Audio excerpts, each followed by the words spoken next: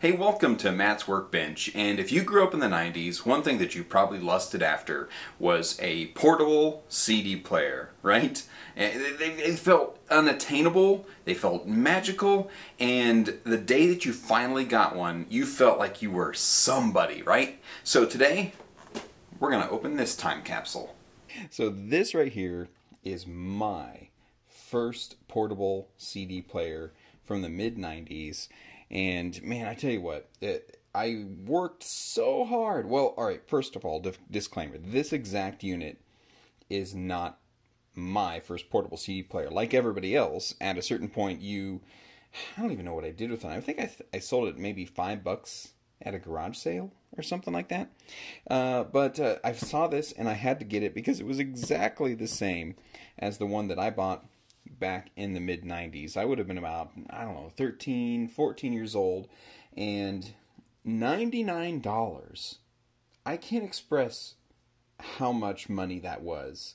Uh, for a 13 year old in 1995 96 like that was an almost inconceivable amount of money that, that you would actually possess for yourself as a young person in the mid 90s and so I, I mowed yards, I saved up money, I, I think I even sold, you know, like pumpkins or something, and uh, finally had enough money to purchase this bad boy right here. And uh, it, it, this was not the top of the line model. In, fact, this was maybe like an entry level CD player in 1996, 95 ish, and uh, was not even like the coolest. But it was a CD player, it was portable, and that's all that mattered. Nobody cared about anything else. So we'll take a look at this. We'll pop this open. Uh, this is mostly complete as far as what's inside, and uh, I'm excited to uh, bust this uh, bad boy open. But uh, let's take a look at the box right here and just kind of see. Uh, I always like so Magnavox, right? Smart, very smart. I always loved. this uh, what would you call it uh, slogan or whatnot. I, I can just imagine it at the Magnavox Corporation. They're sitting around like, we need a new slogan. Johnson, what do you got? Uh, Magnavox, uh, smart. That's stupid. Uh, Kim, what do you got? Uh, how about smart? Very smart. Jeez. it's great. Put it on everything we sell. But look at this. I mean, how 90s is this? You've got a cigarette lighter adapter, CD to cassette adapter. Here's the thing they called it a cigarette lighter adapter because that's what we called it then. They weren't power adapters, they weren't, you know, 12 volt power sources. It was just it was a cigarette lighter adapter. You you unplugged the cigarette lighter, you plugged in your portable CD player. Dynamic bass boost, super popular shuffle play, and a hold switch. And that's it. That is the total features that you get with this thing. Like you don't get uh, repeat, you don't get anything like that with this unit, but you do get shuffle and you do get a hold switch, which is the most useless thing ever because a hold switch is to where like if you were to accidentally bump a button, right? Well, if you accidentally bump this thing, it skips like crazy. I mean, this is the very beginning of portable CD players. So, uh, I mean, this. But look at this packaging. Look at these colors, man. Yellow. You got some turquoise in here. You got hot pink. It does not get more 90s than this. Oh, this is so good, man. Um, all right, here we go. We're gonna crack her open here. yeah. So we've got the uh, warranty and registration card. Did uh, did the previous owner fill this out? No. Look at that. We could we could uh, get this registered today. Return within ten days. You think we're good to go on that? On that retail price paid. That's yeah. So I paid. I remember vividly. It was ninety nine dollars. You know, because it was less than a hundred. Um, but uh, yeah, you could fill all of this in. Uh, you get your your warranty uh, in there, which probably only just puts you on a Magnavox mailing list, to be honest. So, and then uh, I imagine this is in like 45 languages because this is one of those fold out um, instruction manuals. Yep, there's Espanol, uh, Fran- French and English. Hey, there is some English. Yeah, make sure you close it till it clicks. So much of this stuff. So obvious. Oh yeah, this has a little battery tray. Look at that. Four AA batteries just to operate this bad boy. Can you imagine? Like you would chew through batteries like crazy. I don't remember how long the batteries lasted uh, either. Oh, look at those little earbuds. That's kind of cool. I didn't know they had those back in the day. I always thought those kind of came later, but uh, that's one thing that I noticed uh, in the listing that it did not have. Um, it does not have the original uh, headphones, which these were not awful, especially for the time period. You got to remember, mid '90s headphones were pretty much universally terrible, just absolutely terrible. Um, so the ones that kind of like stuck in your ear and got as close to your eardrum as possible we're, we're kind of some of the better ones. But uh, man, look at that! I love I love documentation uh, for you know electronics or uh, just about anything. I, I, keep all of my son's like Hot Wheels uh, you know, setup instructions and stuff. I don't know why. I just love documentation. I love instruction booklets and things like that. And they're almost always perfect because no one ever looks at them. but if you don't look at them, like you miss out on all of these great illustrations. You know, like somebody took the time to go through and uh, and draw these and uh, I I, I just really appreciate it. I really uh, in a world where you you buy stuff now and you don't get any manuals whatsoever, it's kind of refreshing, you know. So let's see. We can pop through here, uh, and I don't even know. Like I know what comes with this, but I don't know what is what. Like oh, oh my god, this has never been used. I mean, I can tell. Who would take the time to put this back into a uh, a baggie? But th- these were super important because uh, if you wanted to get uh, CDs into your car, for a lot of people, this was it. Because so many cars came with cassette players, uh, but not that many had CD players. And uh, yeah, there's no tape in here, but it's got a little head, uh, a little head here that uh, basically, I mean, this would be the. It's almost like if you were to record something, right? So if you wanted to record something on the tape, you would put your uh, tape into record mode. Well, this would just play back this head in record mode directly onto the head that was in your tape player. And so it would be outputting the signal here directly into the input of the tape head in your deck and uh, boom like that you got uh, you got CD sound CD for car cassette adapter by Magnavox. Yeah, so at this point, the uh, audio cut out on my recording, but uh, how do you feel about the brand Magnavox? You know, I feel like it was a, kind of a mid tier. Like, it definitely felt like maybe, I mean, you weren't buying the bottom basement. I remember for sure feeling like uh, Emerson uh, was, uh, was kind of a bargain basement brand, but. Magnavox, I really felt like you got a little bit more for your money. Uh, man, I don't know. What do you think? But uh, here, let's take a look at the power adapter. Gosh dang, these things are so ridiculous. Uh, the wall warts, as people call them. Uh, yeah, you can tell that this is this has been repackaged for sure and used, but um, you know this is important because uh, you had to have these bad boys. Uh, otherwise, you'd be chewing through batteries all the time. So if you wanted to sit in your bed and listen to CDs, you know you uh, you had to plug this thing in, and uh, otherwise you were begging your parents to buy more batteries, and they were just going to tell you no. So you can't have can't have that happening. but uh, it's it's nice that it comes with it. Uh, in a world now where you can get a lot of rechargeable batteries and things like that, uh, it's it's still cool to have, and such a cool shape to those things too. Uh, what is this guy? This is oh yeah, this is the cigarette lighter adapter, not the 12 volt power supply.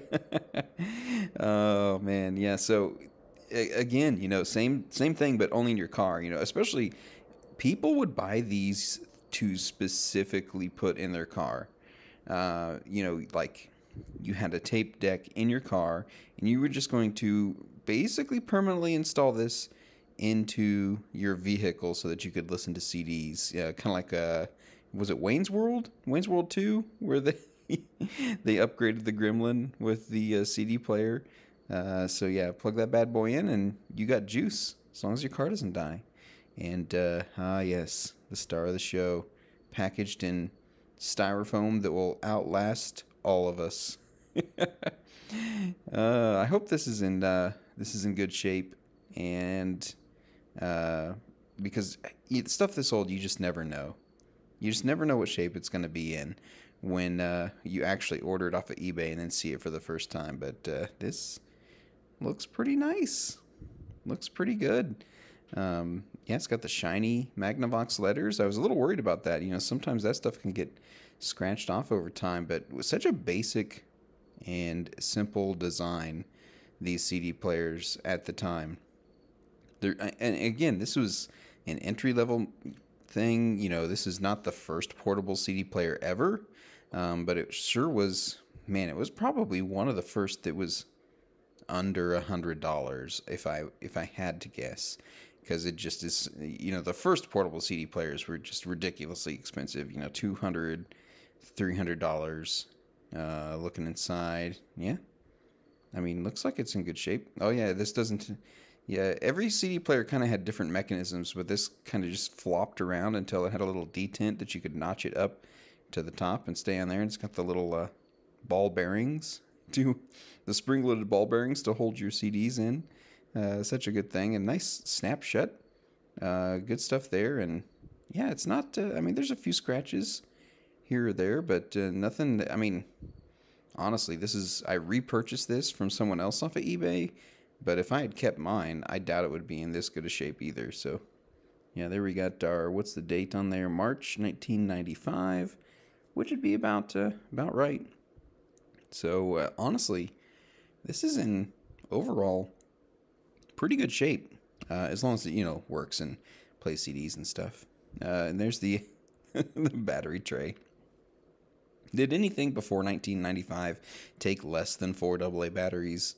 You know, I remember the Game Boy took four AA batteries, and you get like three hours. I have no idea what the uh, runtime of four AA batteries on this would be. That'd be a fun thing to test out. But you, yeah, oh yeah, the window. That was very important. You had to have the window because uh, you know you spent all this money on CDs. You wanted to make sure that you know this wasn't just a magic black box. You wanted to make sure that there was actually a CD spinning in there. So you hit play and you watch your your CD spin around, and uh, you you'll feel better about your your purchase of your CD player and your CDs.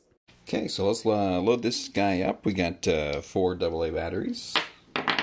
Right here. You know, at some point, you know, sliding AA batteries into a device, it's going to be an experience that just doesn't exist in the world anymore. I'm not going to lie, probably doubles the weight of this.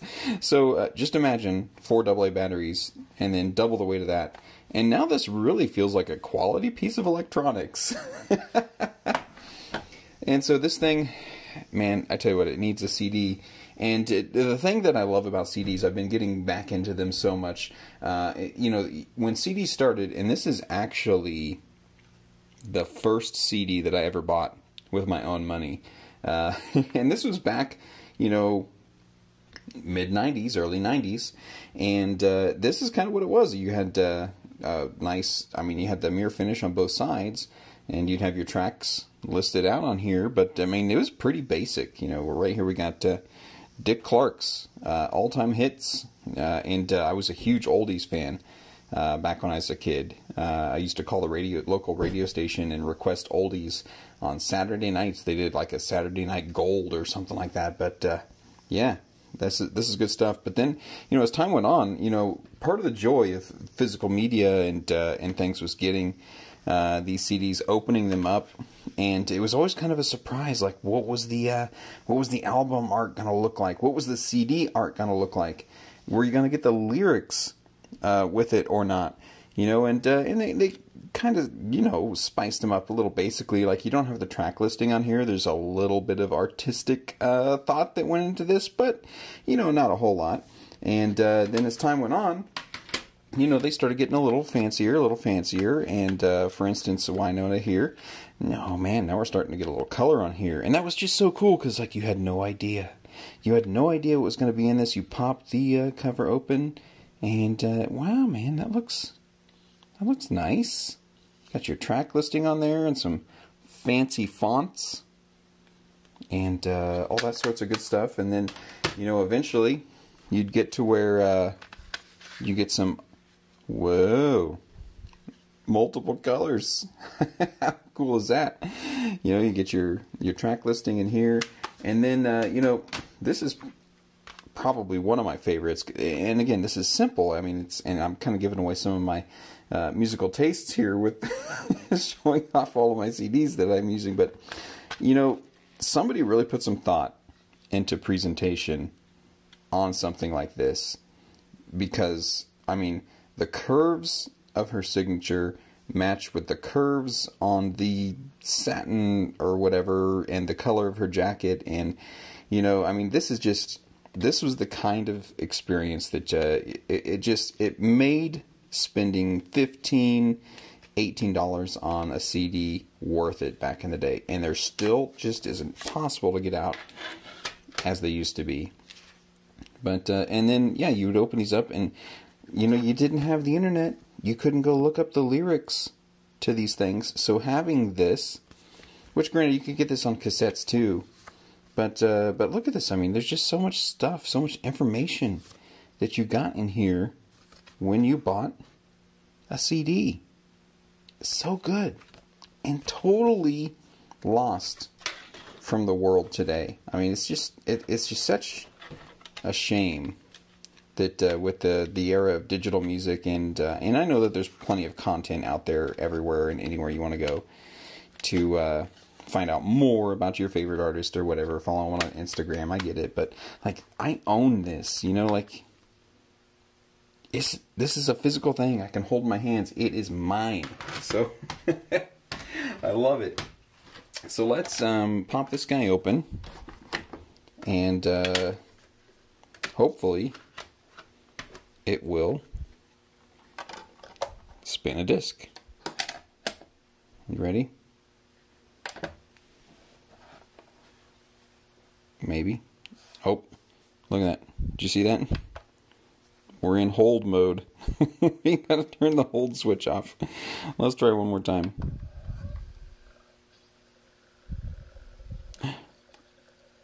It works. Look at that.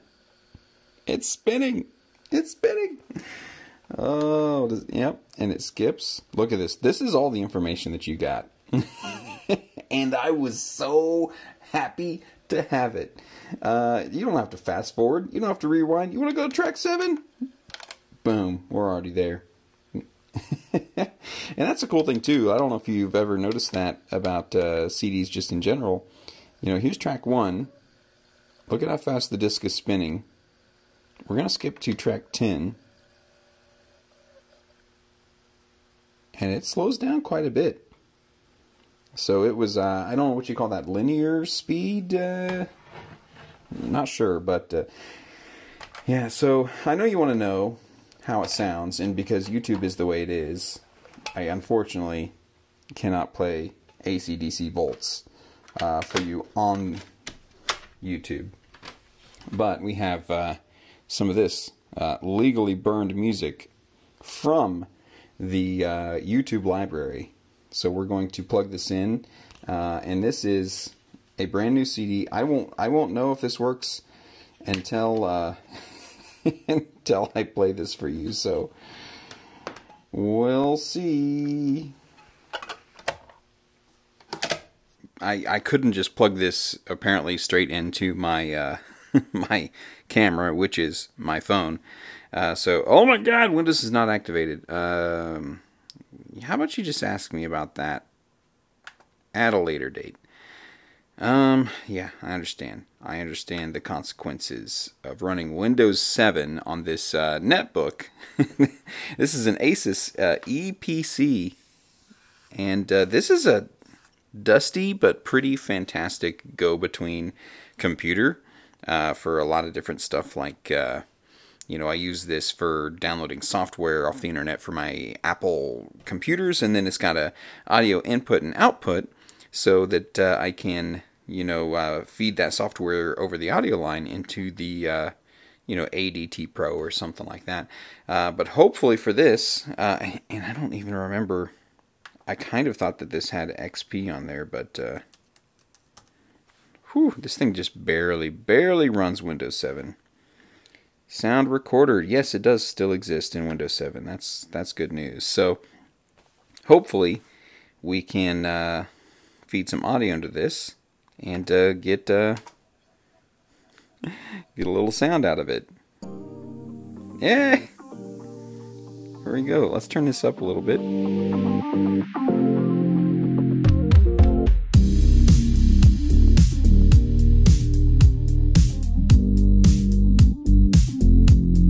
Yeah, I mean it's it's not uh, you know it's not uh, ACDC or Wynonna, but it works.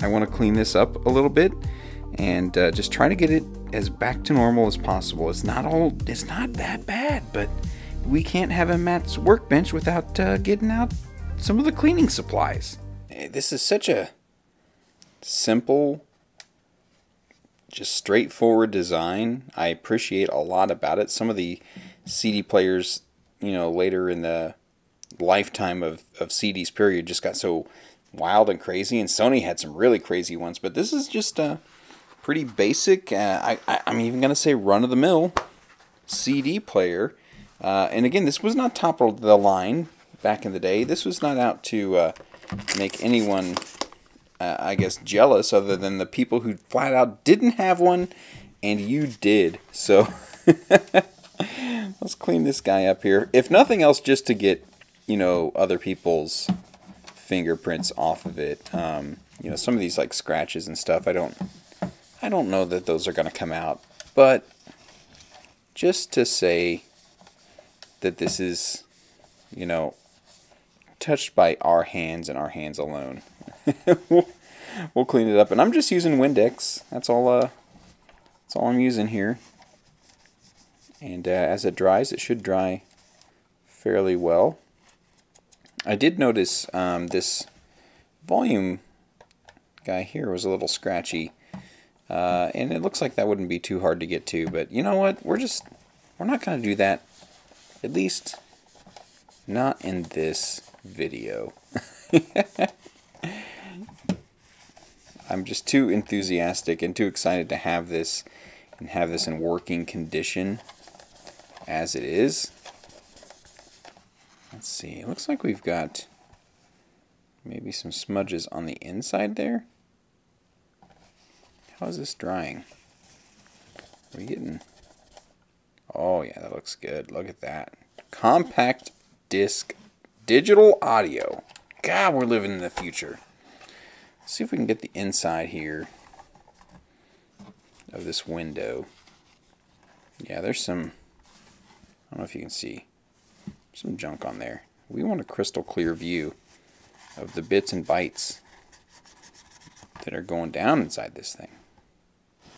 Oh, a little more cleaning man, I tell you what, this is almost a surreal experience for me because I spent so much time, so much time with my portable CD player back in the day. Just, it was fun just to, just period. It was fun to listen to anything on a CD.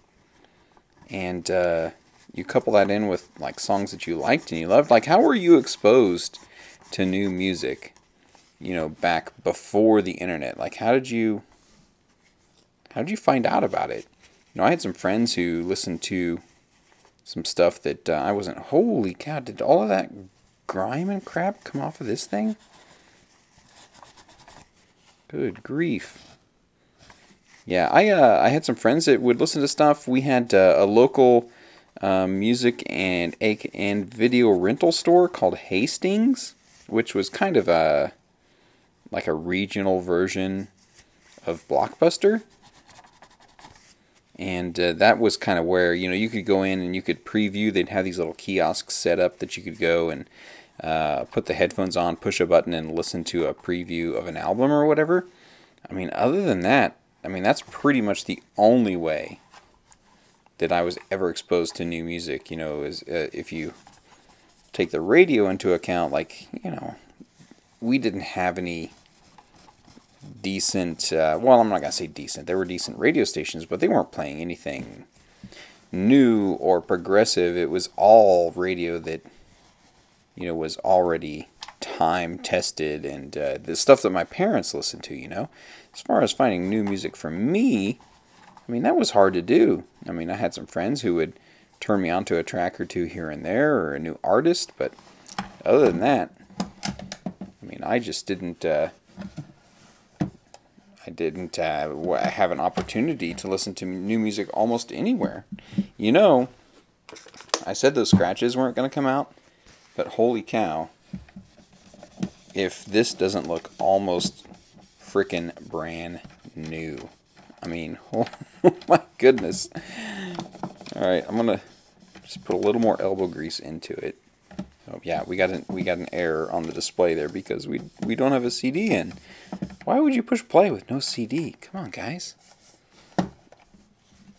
Yeah, we got. Uh, that's the the thing about black plastic is you just don't see all of the the grime and the dirt, which is nice on one hand, but on the other hand, you know, we're just trying to get this guy looking good. Let's get around these buttons because that's where the fingers would have been poking and prying. Look at that. Look, can you see that? There's a 1. There was a decal here at one point. How long did that decal live on there to uh, to still be showing up at this point? That's crazy. I don't know. I mean, it's not it's not perfect, but it's looking pretty fantastic. Let's uh we got a few little specks of dust on there. And then uh, let's uh, just pop this open and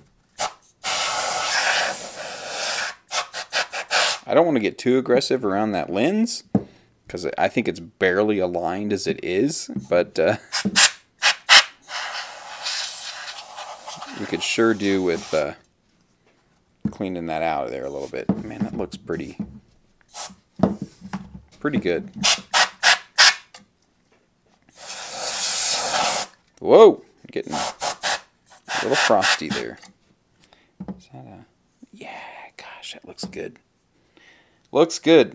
You know, I think one thing that we should do is we should take this out to the van and uh, see how she does out there. All right, man. So we're in the van, the sweet uh, Ford uh, Econoline, and uh, it's time to give us the ultimate CD setup. Now, I, I do already have a CD changer in here, which uh, I'm going to admit is uh, pretty darn sweet. Maybe we'll do a video on that at some point.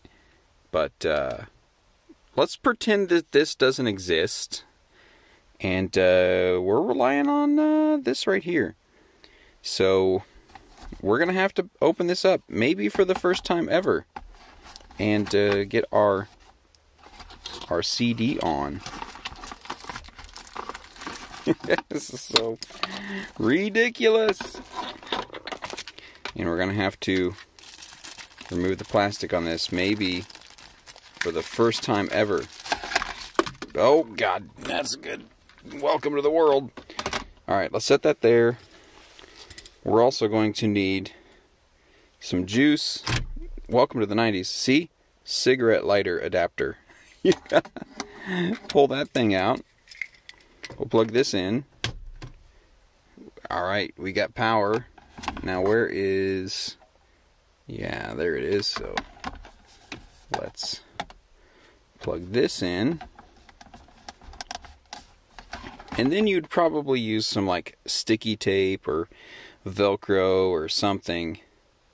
And honestly, let's see, yeah. Oh man. I didn't think there'd be anything on that station. Hopefully I'm not going to get flagged for that staticky stuff. But, um, alright, so here we go. Let's see if we got juice. Yes. If we put this in, we should hear sound, right? Okay.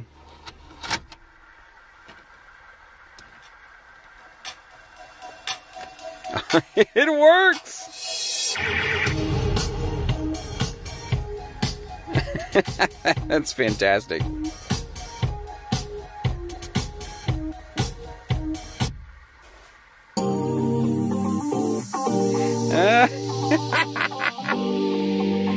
oh, how retro is this? We got the 12 volt juice flowing in from the cigarette lighter into the CD player, skipping tracks.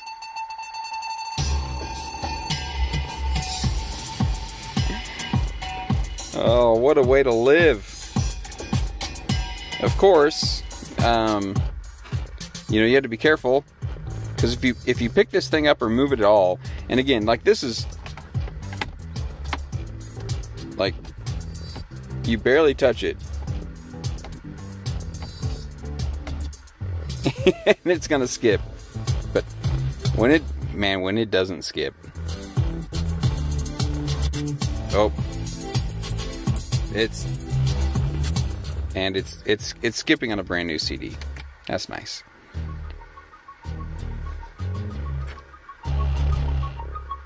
Maybe there's just so much bass.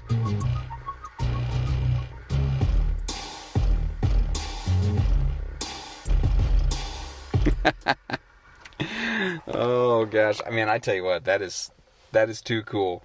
Um, yeah, I mean, here it is. You know, it's uh, it's not brand new it's uh, I guess complete in box or whatever you want to call it, but it's my first CD player.